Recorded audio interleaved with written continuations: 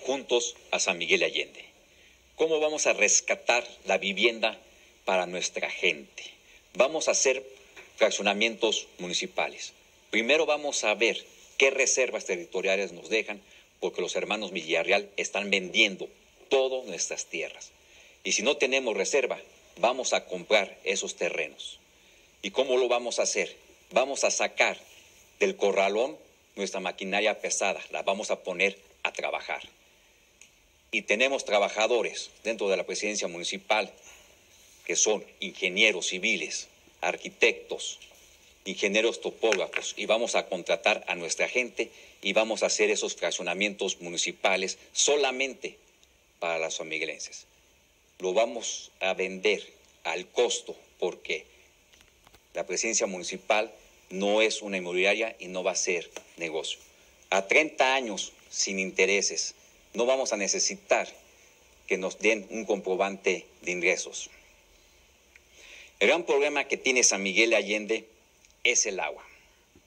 Nos estamos quedando sin agua. Los pozos se están secando, las presas se están secando, los bordos se están secando.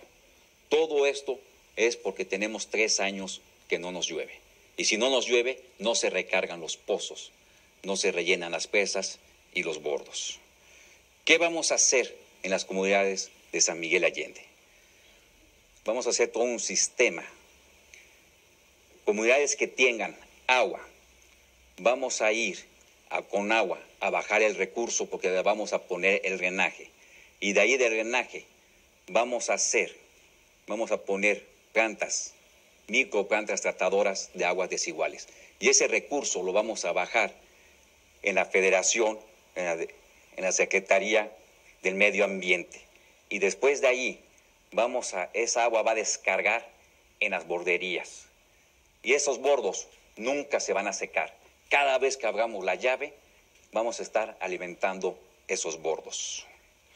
Vamos a rescatar el cielo de San Miguel Allende de esas avionetas.